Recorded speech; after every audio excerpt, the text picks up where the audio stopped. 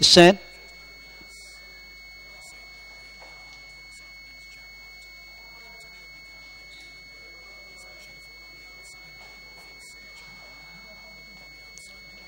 The set stand by.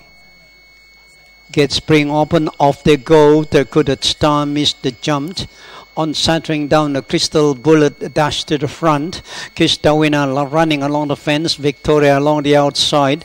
Then on the fence, Lewinsky, Pangazzo trailing in the center. Kimanis Beauty then followed on the outside. It's Bangawan Prince along the fence. Garden Sunlight. Then come Kudat Star Mastika.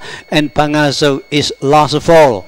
The race past the first corner. They got about 600 meters left to run. Crystal Bullet is still leading the field.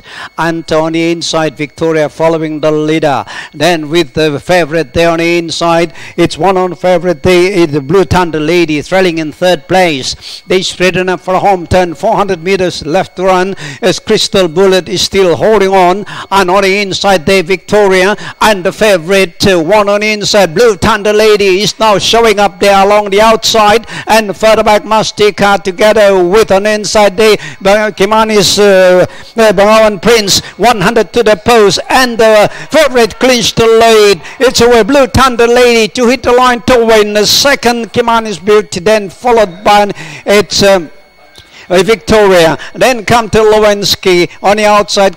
Winner, uh, Crystal Bullet, Mastika, Kimanis Beauty. Then further back it's Bulgarian Sunlight, and along the inside the Pangazzo Megalong trailing out last. Then we have one more pony, the Kudat Star, trailing last to pass the post.